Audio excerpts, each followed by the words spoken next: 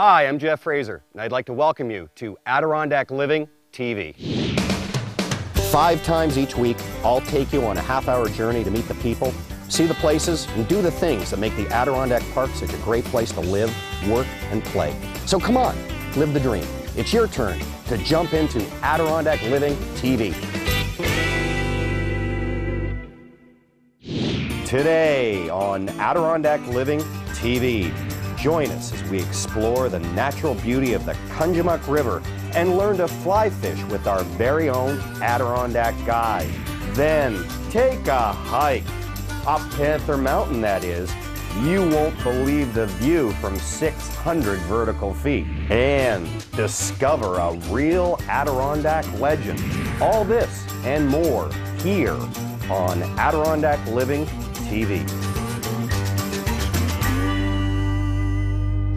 Hi, I'm Jeff Fraser. Welcome to this week's episode of Adirondack Living TV. Say, have you ever wondered how to enjoy the wild side of the Adirondacks? The camping, the hiking, the fishing? Well, I might just have an answer for you in this week's episode because I caught up with my good friend Jerry Roberts from Fort Noble Adirondack Adventures right here in Speculator, New York. We're going to do some climbing, we're going to do some fly fishing and paddling. So come on, let's go do some Adirondack living.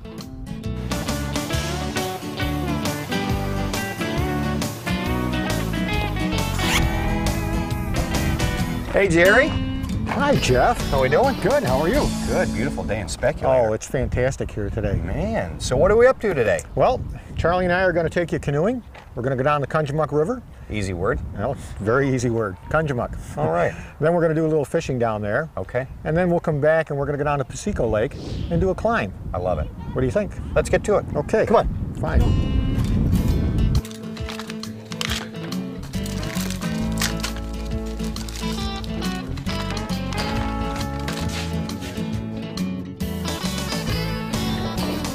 And away we go. Where are we right now, Jerry? Uh, this is the, the outlet to um, Lake Pleasant. We're going down into Kunjamuk Bay.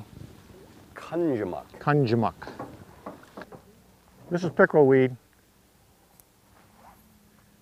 And down at the base where the water is are little white flowers. That's called wapato. You can see the wapato to your left, Jeff. See it? It's little white flowers in there. Oh, right, okay, See it? Stinks to be us today, doesn't it, E?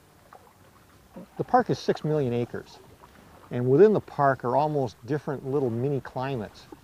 Uh, generally, you will get a time of the year where something blooms, uh, say the oh the bunchberry, or the Indian slippers, but it can vary point to point. There's a great gray heron. Wow.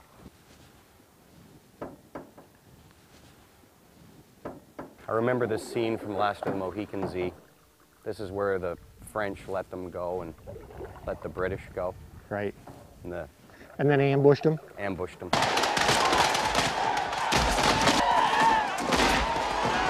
Not a good thing. I, it's going to happen again right here.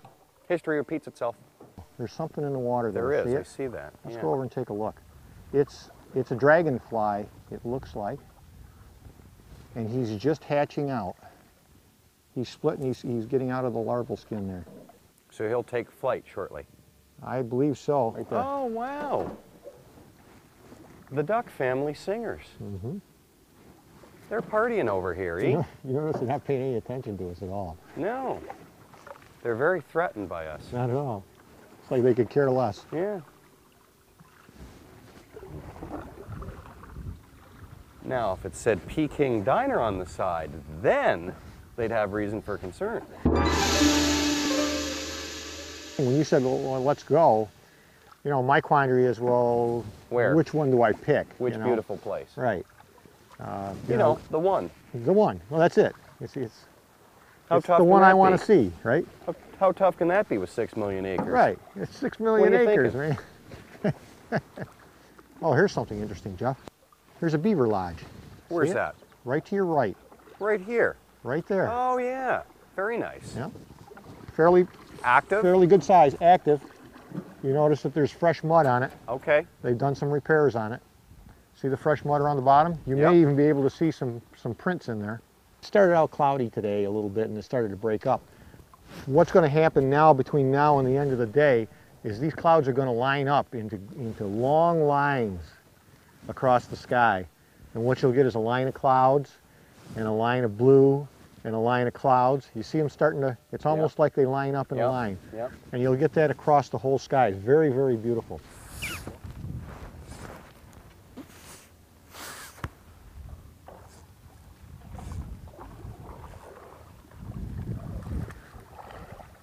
All right, Jared, break the mechanics down one more time for us. All right, let me get it out here and make sure we're going to be able to start right from in. the get-go.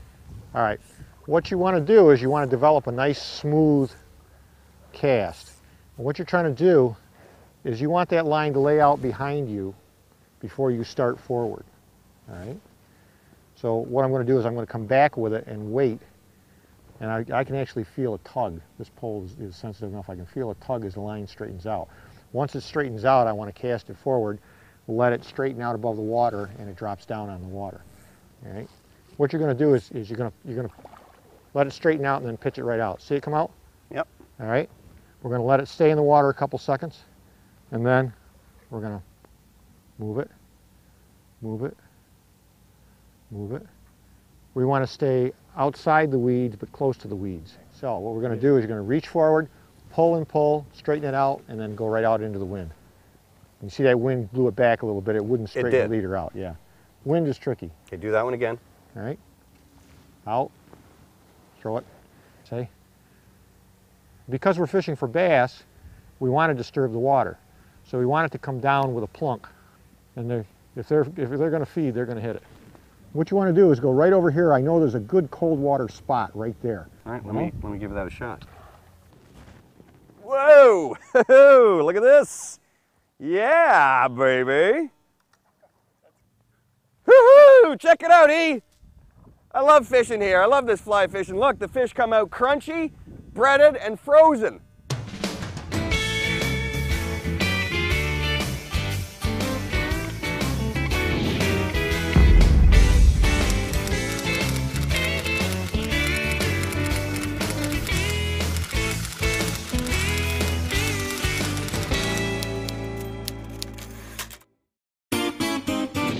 Don't touch that remote. We'll be right back with more here on Adirondack Living TV.